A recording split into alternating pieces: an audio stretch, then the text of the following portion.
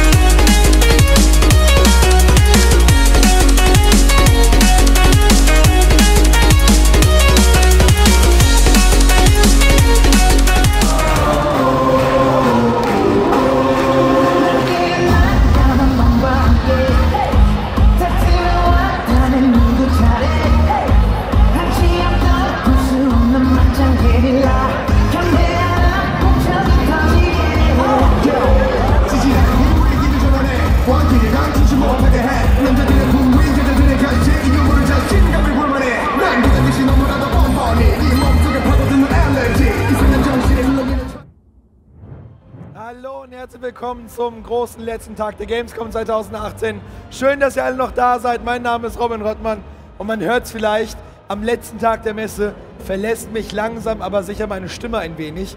Ich werde natürlich versuchen, so laut wie möglich zu sprechen, aber da ich heute nur die Fragen stelle und ich mir hier auf der AOG nur Leute dazu hole, die für mich Fragen beantworten, muss ich auch gar nicht so viel reden. Schön, dass ihr alle da seid. Heute am großen letzten Tag der Gamescom. Als erstes darf ich aber erstmal drei Gäste begrüßen zu einem Thema, wo wir, glaube ich, alle vier ganz gut zu erzählen können, und zwar Arbeiten im E-Sport, beziehungsweise was kann man eigentlich im E-Sport machen. Darum begrüße ich zuerst unser Geburtstagskind, Pascal Brandt, a.k.a. Bas. Der Mann hat Geburtstag, einen großen Applaus bitte. An seinem Geburtstag kommt er, kommt er extra vorbei. Schön, dass du da bist. Ich bedanke mich. Auf, der, auf dem nächsten Sitz sozusagen Jonas Welschafrik, seines Zeichens Rocket League Profispieler. Von daher einen großen Applaus für Well. Und zu meiner ganz linken oder zu eurer ganz rechten, je nachdem. äh, Ich will nicht sagen ein Tausendsasser, aber ein Mann, der so ziemlich alles schon mal irgendwo irgendwann wie gemacht hat. Er hat eine eigene E-Sport-Location gegründet in München, die er betreut hat. Er hat eine eigene Produktionsfirma gegründet, hat dann noch eine eigene äh, oder eine eigene Firma, wo man äh, das Hologate, wo man VR-Spiele als Arcade-Automat spielen kann. Ein Applaus für Robert Funky Funkenel. Was war so der erste Augenblick für dich, wo du gemerkt hast, okay, das wird jetzt gerade wirklich eine Sache? Also, das ist jetzt gerade da. Hattest du so einen Augenblick, wo du irgendwie mal abends schlafen gegangen bist und gesagt hast, okay, das ist doch viel, viel größer, als ich vielleicht gerade noch gedacht hätte?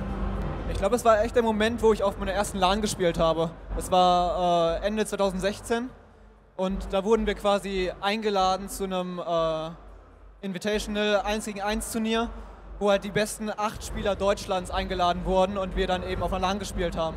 Und das war echt der Moment, wo man dachte, krass, daraus könnte halt echt mehr werden als nur dieses normale Spielen und vielleicht ein bisschen Turniere online spielen. Was glaubt ihr 2026? Wenn wir hier nochmal in acht Jahren sitzen würden, was würden wir dann wahrscheinlich erzählen, was wir gerade tun? Im Sinne von, wo wird der E-Sport wahrscheinlich in den nächsten zehn Jahren hingehen und was haben wir zu erwarten? Ich würde einfach mal den Experten zuerst ranlassen, weil ich glaube, dass der Herr, der den ganzen Tag auf Kongressen unterwegs ist, wie er gerade erzählt hat, dass der mit seinem Masterplan sicherlich sowas weiß, oder?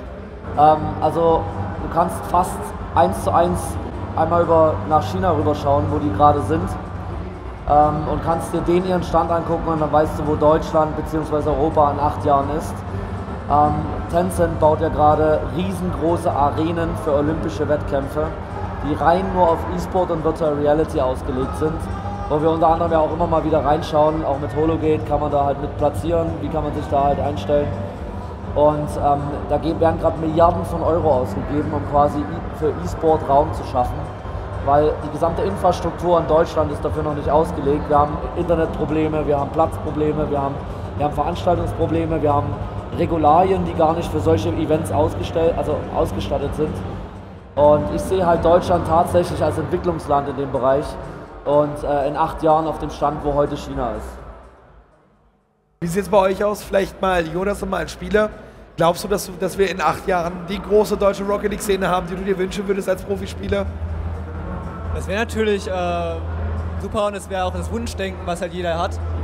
Ich finde es an sich schwierig, dass eben es viele verschiedene Spiele gibt. Wenn du jetzt zum Beispiel Sport anschaust, hast du auch verschiedene Sportarten, aber es gibt halt die, immer gibt es immer diese großen Sportarten. Da ist dann immer die Frage, welches Spiel schafft es, diese riesen Arenen zu füllen und welches schafft es nicht. Aber ich denke, in den ganz großen Spielen äh, werden wir auch so ähnliche Ligensysteme haben, wie es jetzt zum Beispiel auch schon in England gibt, wo die Teams jedes Wochenende auf einer LAN in einer äh, Umgebung eben spielen und ihre Liga-Matches ausüben. Und ich denke, das wird eben größer sein, auch in großen Arenen sein, so ähnlich wie eben jetzt die Bundesliga. Ist ja nur die Frage, in welchen Spielen sowas machbar ist und in welchen nicht. Wir sprechen ja über die Zukunft gerade. Ja, ja glaubst du, ich, in ich acht Jahren. nicht ganz mitbekommen. In acht Jahren. Ja, alles gut, darum wiederhole ich es einfach nur nochmal. Ja, sehr schön, Also glaubst du, in acht Jahren sind wir an dem Punkt, wo, wo du mit deiner Form von Cast auch eine, so eine große Halle füllen kannst? Ich hoffe es, also ich, ich habe Bock drauf. Ähm, das Problem ist aktuell stagniert die Szene und da geht es natürlich darum, dass diese Szene wächst und das geht natürlich auch nur, wenn wir da alle noch ein bisschen mit anpacken. Da ist noch, da kommt eine Menge Arbeit noch auf uns zu, würde ich behaupten, um dieses Wunschdenken in die Realität umzusetzen, dass wir einmal mit Rocket League große Arenen füllen und dort wirklich schreiende Fans in allen Ecken haben, ja, wenn Jonas mal wieder ein Eigentor schießt. Das war ein sehr, sehr guter Flame zum Schluss. Ich bedanke mich für eure Zeit. Einen großen Applaus für Funky, für Vel und für Bass. Ich wünsche euch einen wundervollen letzten Tag auf der Gamescom. Genießt immer so ein bisschen die vollen Hallen, den Lärm und den Schweiß. Würde mich sehr freuen.